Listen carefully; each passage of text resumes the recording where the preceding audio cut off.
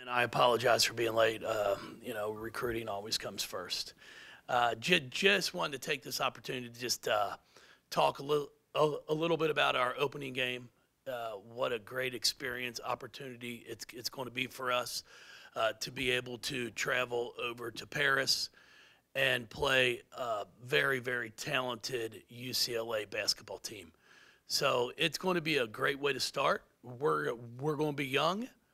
Uh, but I've been very encouraged about what I've seen so, so far, and there's no doubt we'll make great strides from now until that first game.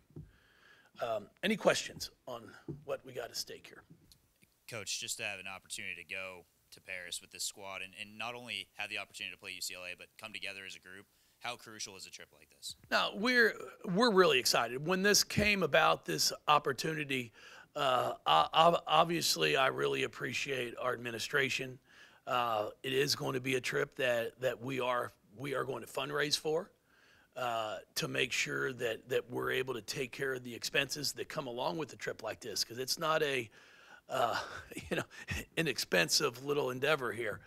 But I thought for the opportunity for our players uh, to give them this experience to be able to go abroad, uh, to play a team of the quality of UCLA on, you know, a, a, a- big stage. I mean, it's not just a national stage; it's it, it's a worldwide stage. So, really excited to put our brand out there, to put the University of Louisville out there as well. Uh, you know, I think our women's basketball program has grown to a point where, you know, we're always in the talk with the top programs in the in the, in the country. Jeff, I was putting together uh, this year's group, which is ha- has a bunch of freshmen, compared to last year where you had almost nothing but transfers. Well, it, it's it's it's one of these times we we go into the season into recruiting always looking to sign the best freshmen that we can sign. The difference with recruiting now is instead of having five players for one scholarship, where you know I've got my top five, now you, you really have three. At least that's how we how we do things. So if we don't get first, second, or third, at the point guard spot, then we're just going to wait and see what comes open in the portal.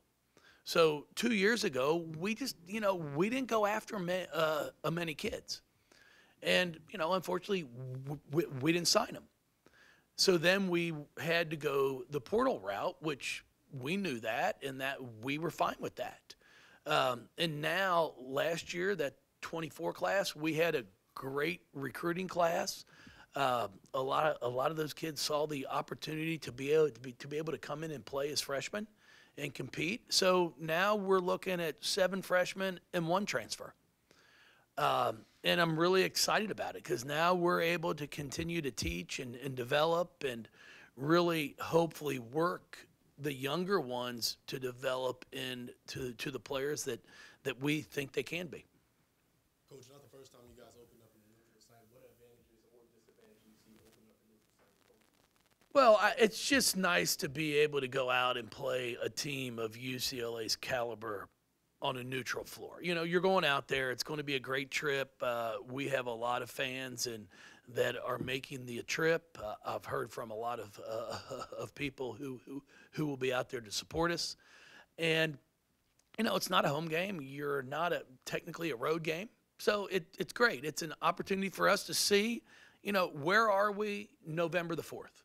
Um, as I've always said, it's not going to dictate or decide if we're going to make it back to a Final Four or not, but it's going to give us a, a good litmus test to know where exactly are we, what do we have to do to continue to improve. Jeff, I saw Nile had a boot. I can't remember on which foot, but what happened there and what's kind of her status? No, she's she's been great. She uh, had a little ankle I- issue, but she's she she's doing fine right right now. She's in practice today. Uh, so yeah, I'm not. She she's a tough kid, and she'll she'll be good to go. No, no. Do you speak any French? Bonjour. It's about, that's about the extent of my Turkish as well. Uh, my Spanish No, it's I've had the opportunity to uh, go over once before on a foreign trip years ago, uh, but excited for all of our players because we're going to make it a cultural experience for them as well. Uh, you know, if, if you're making a trip trip like this, you you want to make sure that you're getting the kids out to see everything, to experience it, and you're not just going to play basketball only. Yes. How did things go with your recent overseas trip? It was great. Uh, it was an experience that, that I mean, it was fantastic. You know, I had the opportunity to go to uh, Istanbul for a week. Uh, so they had a coaching clinic that they asked me to par, par, to, to participate in. Um, that was on June thir- on June 30th.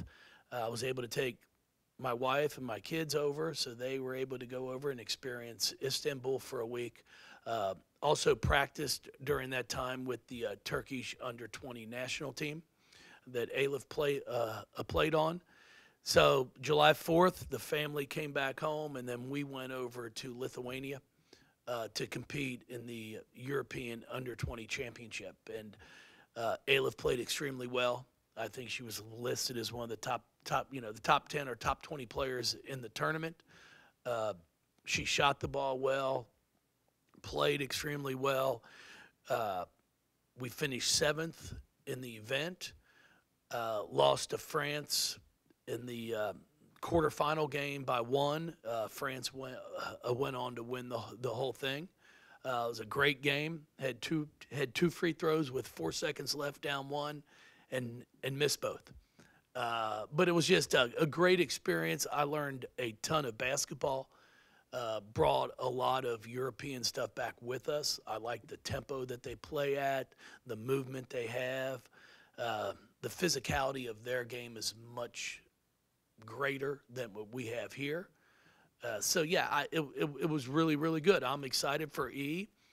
Uh, I think she'll have a really good year for us. I mean, we always have to take take a step back and realize she she got on campus in September of last year, had never met one of her teammates, thrown into a completely different culture, halfway across the world, and then we're throwing her out there in November playing basketball games.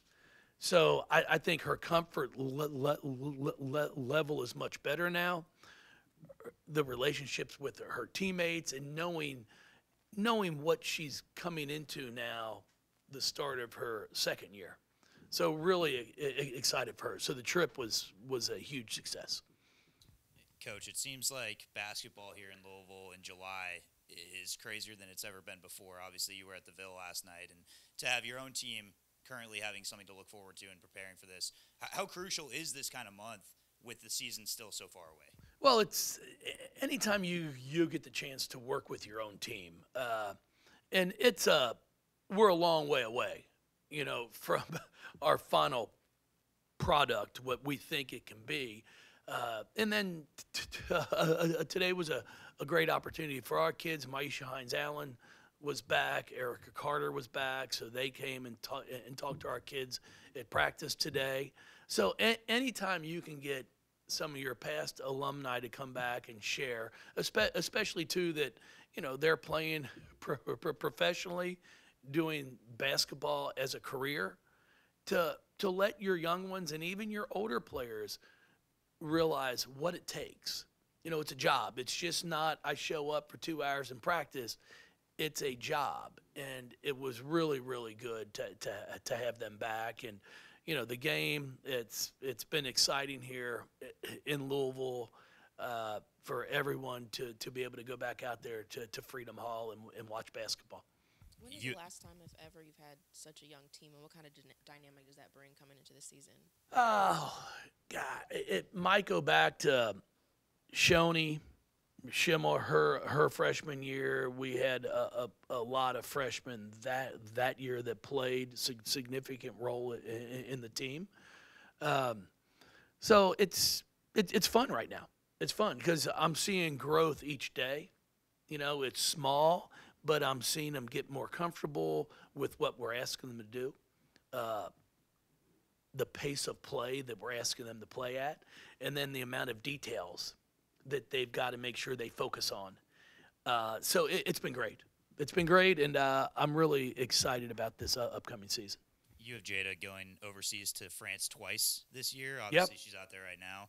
Uh, to go to France a second time with her, is that almost a leadership opportunity she now has to kind of show maybe the spots that she once was at, or just to even have this experience already to, to kind of help lead that younger group? Yeah, I think for her, this has been a it, it's a i- i- important trip right now. She's over there training, uh, really getting pushed past her comfort zone, and I, I think that this was really important for for her.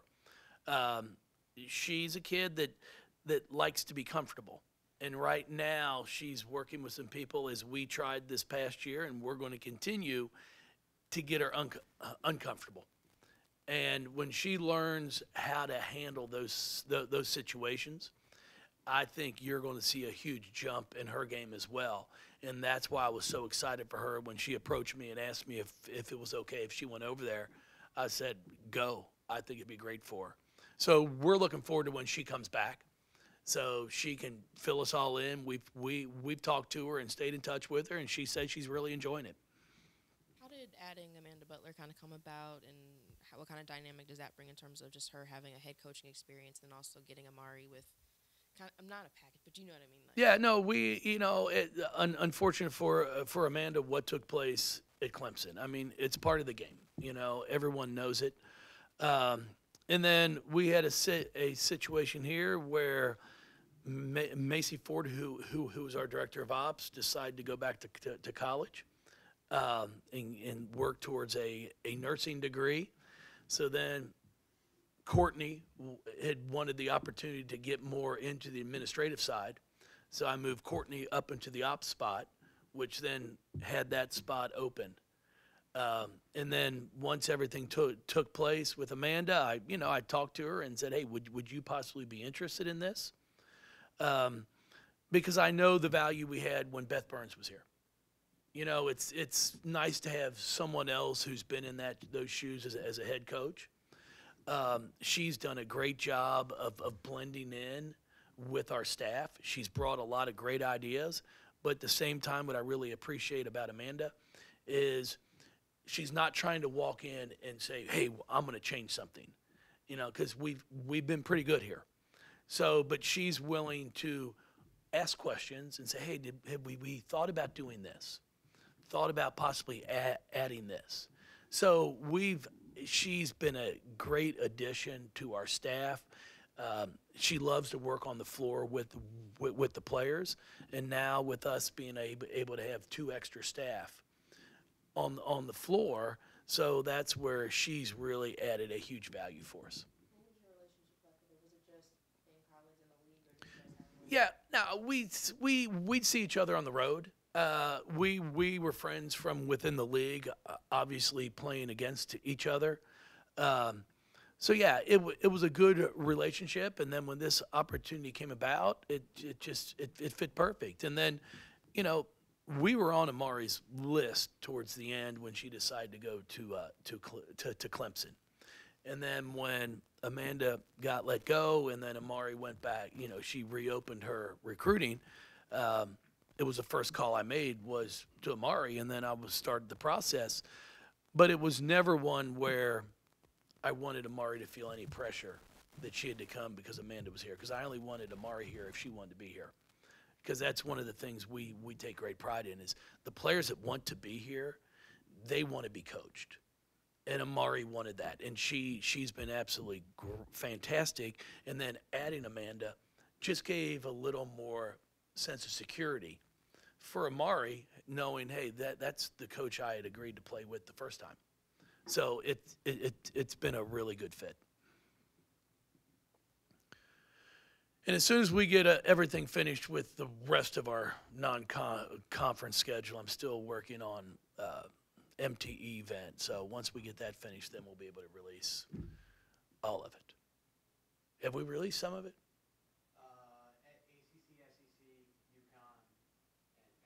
Okay, yeah. So there's there's more to come. Just trying to get it all ironed out. Thank you, everybody. I I, I apologize for being late.